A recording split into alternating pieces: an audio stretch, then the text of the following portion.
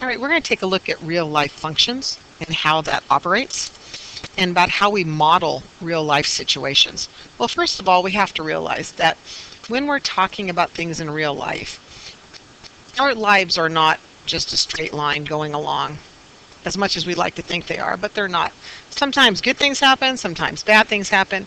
Our graph may go up, it may stabilize, it may go down, it may go back up. So basically, it's made up of a lot of different functions all put together.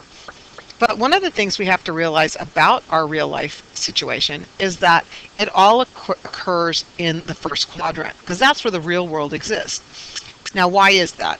Well, in the first quadrant, everything is positive. We have positive time, we have positive other situations.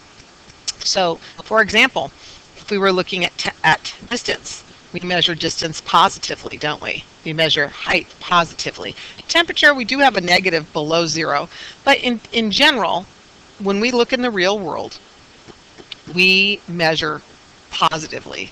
Distance from home is measured positively, not negative five blocks from school um, and you know, and along that kind of line. So let's take a look at how we're going to look at these graphs individually. And here I have three lines, a blue line, a red line, and a green line. And what we're going to do is take a look at these and realize the steepness of things. So as a line gets steeper, we can say things happen a lot quicker.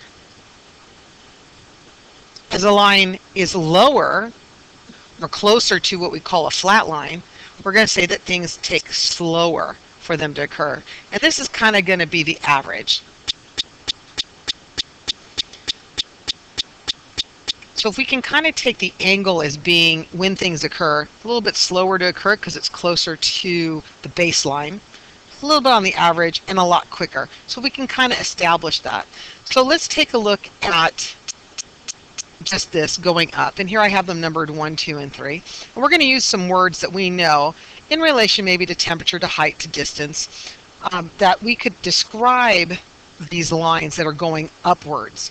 We might use words like rising or increasing, going up, or climbing.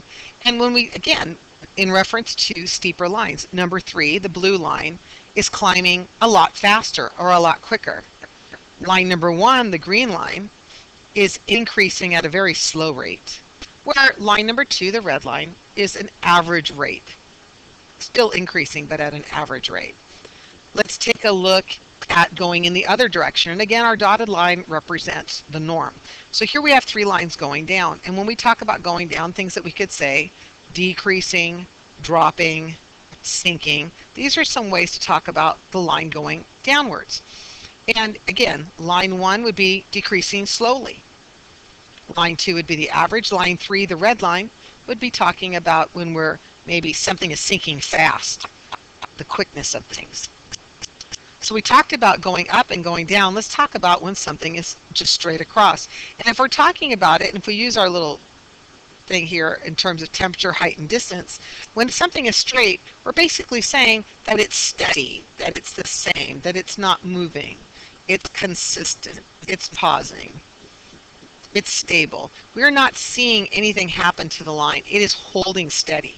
So that's kind of what we're looking at in terms of temperature, height, and distance over a period of time. Now realize as I've been showing you these graphs, all of these graphs have shown that time has been on the bottom every single time. And that's what we're going to be concentrating on, are when time is at the bottom of our graph and our y-axis or our vertical axis, we'll have things changing on us, whether it's temperature, height, or distance. So we're going to take a look at a graph in general here. And here we have some time, over a period of time, and it's 1 through 9, and then here's the distance, distance away. So I'm going to tell a story about the red line and the green line so we can kind of see what happens. So we're going to pretend this is my classroom right here, this spot at the beginning here, at 0, 0 and we're going to talk about me walking up to the office from my classroom. Well, I say I leave my classroom and I start walking towards the office. And as I'm walking along, I'm just walking at an average rate. Well, then all of a sudden I run into a student. And I stand and I start talking to a student. As you see, it's stationary. And then as I'm done talking to the student, I realize I left something back in my room and decide I don't need to go to the office anyway. So I'm going to walk right back. And I'm returning back to where I started at the bottom, which is the distance from my classroom. Now let's take a look at this green line. Let's say if I was leaving my classroom and I needed to go to the office and I realized that I have an appointment and I'm late, I might be walking at a faster pace than I was earlier. And that's what shows me is the distance away from my classroom. That's going at a quicker pace. So let's kind of put it all together a little bit. Let's kind of do it the other way and let's see if you can write one. Let's say this graph right here represents your distance from home to school. And again, time on the bottom. And I have about five minutes there. Let's say you live fairly close to school. And if we're going to write a story, we're going to have to put it in sections. So let's section this graph off. And as we section this graph off, we're going to put them by angle. So we have the first section, which goes up and then stops. Then we have a flat section. We have a down section, and then we have a section that goes back up. Now we're going to label these as A, B, C, and D so that we can tell a story about what is actually going on over the period of time. So here I'm going to tell a little story. So I'm going to say, starting from home, I started walking to school. So as I'm starting to walk to school, then I get to where the next section begins. I'm going to stop and wait for traffic to cross the street. I could be waiting at a stop sign, a stoplight, but they're waiting for a minute, so more than likely a light, a signal.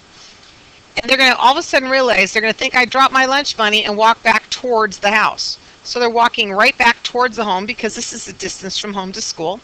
They're walking back towards them, still at the same pace, nothing really drastic. And then they're going to found it and realize that they were going to be late to school, so they ran the rest of the way to school. So they were going at a more increasing rate. It was rising a lot quicker. So in this way, we can show a real life function as a bunch of graphs put together so that we can describe a story and see what's happening. Another word for these types of functions are called piecewise functions, that they're made up of different things all occurring at the same time.